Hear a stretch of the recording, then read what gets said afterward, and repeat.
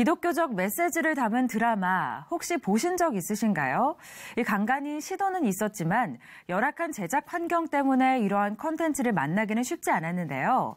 Life, 즉 삶을 주제로 이 30분 분량의 드라마가 이 청년들을 도전하고 있습니다. 이 케어 코너즈 오늘 문화산책에서 함께 만나보시죠. 안녕하세요. 케어 코너즈에서 간사로 섬기고 있고 동시에 Life 드라마의 연출과 각본을 맡고 있는 이보람 전도사입니다. 만나서 반갑습니다. 소망이 없다고 말하는 이 시대. 세상이 교회를 향해 손가락질을 하는 시대. 하나님의 나라를 일궈갈 다음 세대가 죽어가고 있는 시대. 이 시대 가운데 청년들의 가슴에 세계 선교의 씨앗을 뿌리고 있는 이들이 있습니다.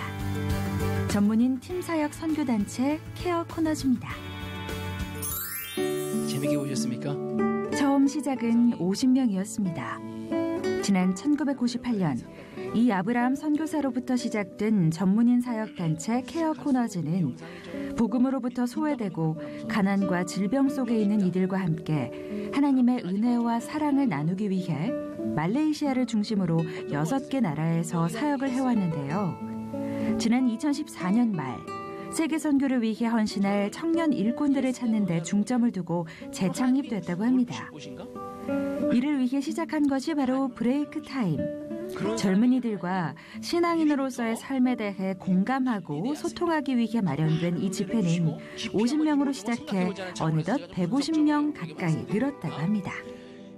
현재 우리나라의 크리스찬 청년들의 그 현 주소를 봤을 때 어, 선교는커녕 오히려 교회를 떠나고 있고 교회 자체도 그냥 지루하고 형식적으로 예배만 드려야 가는 곳, 드리러 가는 곳으로 그렇게 알고 있어서 어, 우리가 먼저 선교를 논하기 전에 삶 속에서 우리가 좀 더 크리스찬답게 사는 게 무엇인지를 어, 한번 도전해 보자라고 생각합니다.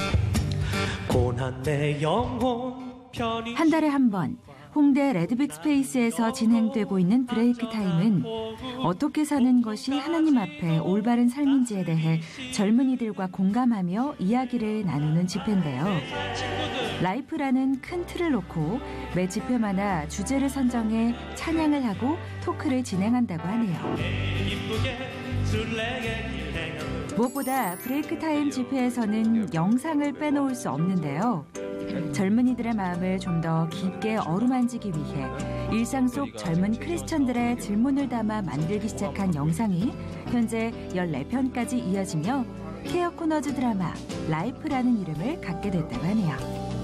대부분의 주제가 이제 복음 위주로 이제 전도용으로 만드는 영상들과 집회가 많이 있잖아요. 그것도 분명 중요하고 안 믿는 사람들을 구원시키는 것도 굉장히 중요하지만 기존에 믿고 있는 크리스천들을 더 신앙생활을 잘 할 수 있게 하는 것도 그것만큼 중요하다고 여겨져서 저희는 어, 안 믿는 사람들을 위한 집회보단 이미 믿고 있는 그리고 젊은 청년들을 도전하자라고 해서 시작됐었고요. 아무래도 좀 그 초점이 연령층이 좀 높은 4, 50대에 맞춰져 있지 않나라는 그런 느낌을 많이 받았어요. 기독교 방송을 봐도 뭐 그런 기독교 서적을 봐도 젊은 층들은 약간 소외되고 공감할 수 없는 부분들이 많아서 젊은이들이 공감할 수 있는 주제로 그 토크로 그리고 영상으로 한번 도전해 보자. 영상 제작 경험 있는 전문가도 어딘가에 출품을 해 알릴 목적으로 제작된 것도 아니었지만 이보람 전도사는 직접 대본을 쓰고 연출을 맡아 Life 시리즈 영상을 한 편 한 편씩 세상에 내놓았는데요.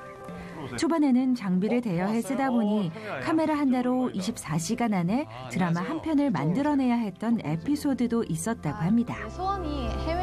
현재 두 번째 시즌 8편 중 6편의 제작이 완료됐고요. 특히 Life 2편은 지난 2015년 국제기독교 영상대전에서 대상을 수상하기도 했는데요. 어느덧 배우들도 늘어 신은섭, 임재민, 홍아론 등 다양한 매력의 전문 연기자들도 합류했다고 하네요. 일반적으로는 2천만 원의 출연료가 드는 30분 분량의 Life는 이렇게 5만 원이 채 안 되는 제작비로 완성되고 있습니다. 우리는 살아가면서 수많은 선택들을 하게 된다. 외출을 해서 버스를 탈 것인지, 지하철을 탈 것인지, 여행을 갈 것인지, 말 것인지, 그리고 간다면 누구와 갈 것인지.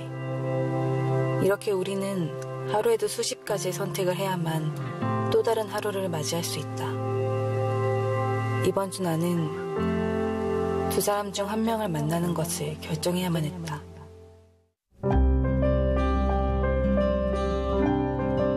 이 시대의 가장 약한 부분을 어루만지는 일, 가장 나약한 부분을 단단하게 세우는 일. 어쩌면 쉴 새 없이 앞으로만 달려온 한국 교회가 지금 잠시 자리에 멈춰서서 돌아보아야 할 일일지도 모르는데요. 캐너 코너즈의 마음이 이 땅에 소리 없이 신음하고 있는 젊은 세대를 향해 있는 것도 그 약한 이들이 바로 설 때 다시 한번 교회가 이 시대가 회복할 수 있을 것이란 믿음 때문일 겁니다. 저희가 자체적으로 케어콘에서 케어콘에서 매달 드리고 있는 또 예배가 있고요. 또 저희가 토요일마다 하고 있는 영성 훈련이나 이제 제자 훈련 형태의 그런 훈련이 있습니다. 그래서 그런데 저희가 많이 청년들이 참여를 해서 결국은 선교지로 이제 나갈 수 있게 그리고 같이 사역을 할 수 있게 그런 부분에서 저희가 지금 기도를 하고 있습니다. 그래서 그런 부분들을 좀 같이 어, 관심 가져주시고 기도해 주시면 감사드리겠습니다. 케어 코너즈 Break Time 집회는 한 달에 한 번 저녁 7시 30분 홍대 레드빅 스페이스에서 함께 하실 수 있고요. 라이프 영상은 케어 코너즈 홈페이지와 유튜브 계정, C 채널을 통해서도 만나보실 수 있습니다.